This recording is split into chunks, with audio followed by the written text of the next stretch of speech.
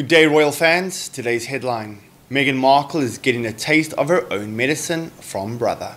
Meghan Markle's half brother's appearance on Big Brother is giving her a taste of her own medicine. Thomas Markle Jr., who is estranged from Meghan, is a contestant on Big Brother VIP, a celebrity version of the reality TV show in Australia. He has spoken out against Markle several times in the past, and in the trailer for the show claimed, I told Prince Harry, I think she's going to ruin your life. She's very shallow. Meghan is also estranged from her ta- father, Thomas Sr., and half sister, Samantha, who have both given interviews about her. Meanwhile, since moving to California from the UK, both Meghan and Harry have given several interviews in which they have talked about the royal family. In their bombshell chat with Oprah Winfrey, she made several accusations against the royals, saying that a family member had questioned what color their son Archie's skin would be before he was born.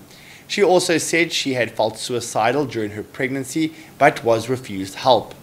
Appearing on the Daily Mail's Palace Confidential show, writer and columnist Sarah Vine was asked if she felt sorry for Meghan given her brother's appearance on the show. But Sarah replied, No, I think she's about to find out what it feels like to have someone cash in on your family, which is what the Queen has been dealing with for the last 18 months. She and Harry have been cashing in on their royal family by cashing in on all sorts of Netflix deals and giving interviews to people and saying dreadful things. It's a taste of your own medicine, I reckon. While journalist Charlotte Griffiths added, the last thing she wants is to be associated with is Big Brother. Meanwhile, just last week, Meghan's dad Thomas appeared on GB News in the UK and claimed he had tried to make amends with his daughter. The 77 year old, who has never met Harry or his grandchildren Archie and Lilibet, says he sent Meghan a bunch of roses as he tried to mend their broken relationship. But as of yet, he says he's had no response from the former Suits star. I really didn't expect to hear back, but I tried nonetheless, he said.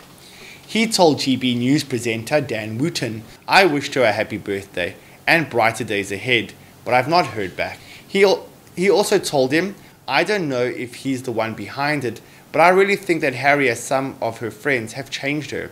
I love my daughter, but I don't always like what they're doing. Thank you for watching. Go ahead, like, comment, and subscribe.